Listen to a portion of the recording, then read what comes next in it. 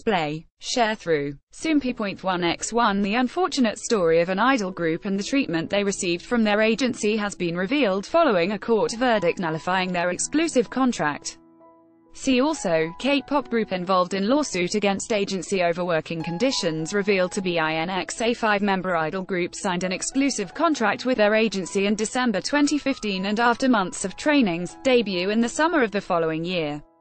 Like many trainees, they stood on stage with the dream of standing at the center of the Hallyu wave, but their hopes were broken even before they had been active for a year. Soompi Display, News, English .300x250, BTF Soompi. Mobile. English .300x250, ATF Their agency kept decreasing the size of their staff, so it became difficult for the members to expect support from the agency in the form of a manager, transportation, and vocal and dance lessons. The agency required the group to pay for their own hair and makeup costs, and cosmetic procedures such as Botox or fillers were also paid for by the members themselves as it was considered by the agency to be self-management. The group had to rent out an aerobics classroom to rehearse, and there were times when the members couldn't get in because the password had been changed. The agency did not provide the members with monetary support to buy food and household items at their dorms, telling them, you won't die just because you skipped a meal. A staff member who spoke up and requested that the agency pay for the group's meals was forcibly removed from the company. This group was also active in Japan and Taiwan, but the situation was not ideal.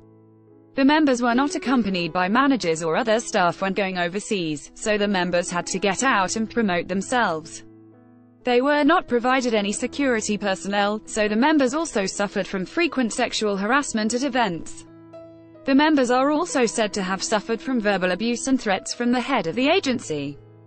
The head would create an atmosphere of fear as they said, if you don't listen to me, I will destroy you in this industry.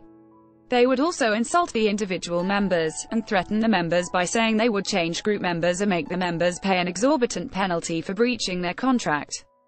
Despite this, the group worked hard to promote their music, but they were never paid any of the money they earned through their activities. The group finally filed a lawsuit against the agency and claimed that their exclusive contract was invalid as the agency had violated their contractual duties. On June 22, the Seoul District Court sided with the Idol Group, acknowledging all of the charges the group filed against their agency.